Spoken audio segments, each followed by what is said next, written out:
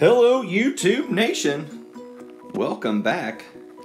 Solo project today. Miss Rebecca not with me on this one.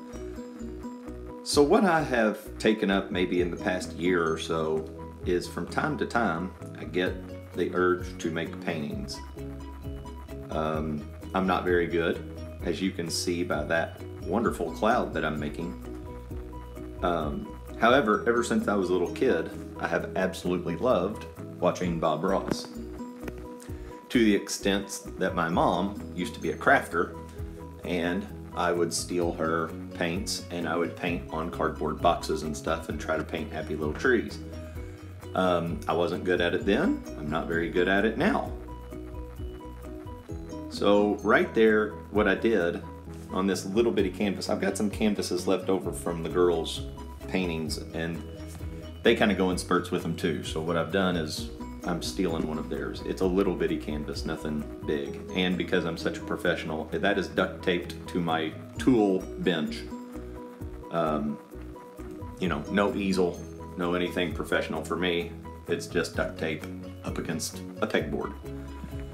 But um, I get a little bit of motivation from things that I see, and this was one that I just wanted to try to do a black backdrop. Um, the one thing I have done, really, the only thing that I've ever got is I got an art award in high school, and I'm pretty sure everybody that took art got one. And I've taken one officially licensed Bob Ross painting class from an instructor who went to Bob Ross College.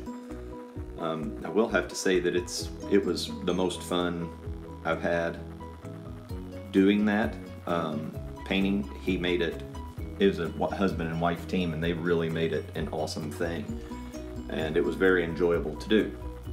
So I've learned, you know, in two hours, I've learned maybe four or five techniques, which actually makes me have very, very below average, maybe to average paintings. But I like it, so don't hate on me. So all I've done, I, I, I covered that with black. I let it dry overnight and then the only color I am using is white. And it's the magic Bob Ross white. I figure if I use the magic stuff, it'll it'll turn out. So what I've done there is I put a little magic white on my finger. Um, I cut a little bit of that out because on a piece of paper next to the iPad, I was uh, trying to draw a circle. Well, I can't draw a circle, but I found that if I use my finger, I can get pretty close. So that's supposed to be a moon. It's a circle. There, my duct tape fell. So now what I'm trying to do is just blend it out to make it look like maybe a foggy or cloudy night. I haven't decided because I pretty much what what the brush does for me that tells me what is going to be on the painting. so for this one, it's pretty much fog and clouds. Look at them happy little, happy little clouds up there. That looks a mess, and I'm trying with the lighting and whatnot to get this. I'm actually recording this on an iPod pad thing, and it's just standing up. It actually falls here in a little bit, but I'm going to edit that out. That's good times.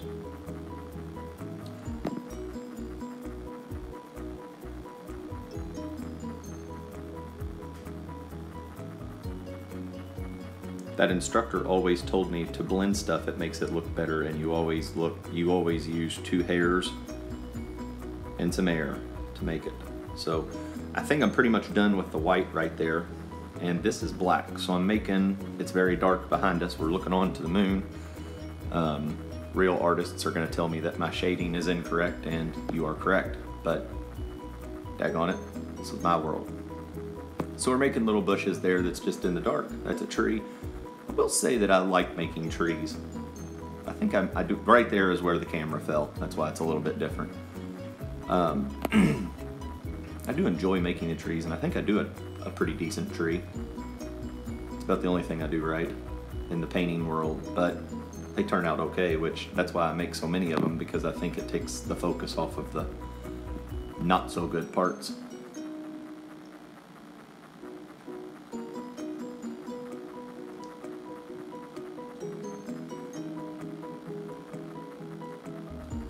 Oh, here we go.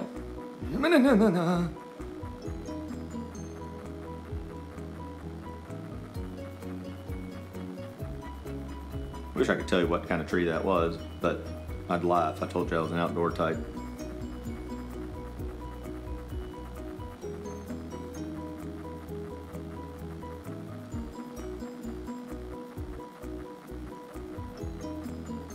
I added white to the brush on this one. That's why it's a little grayer. I was like, hmm, moonlight's a little shiny over there. Or it's snow. You can tell me what you think it is. Bam, trees. All right, and that pretty much makes the painting. Thanks for joining. Hope it wasn't too terrible.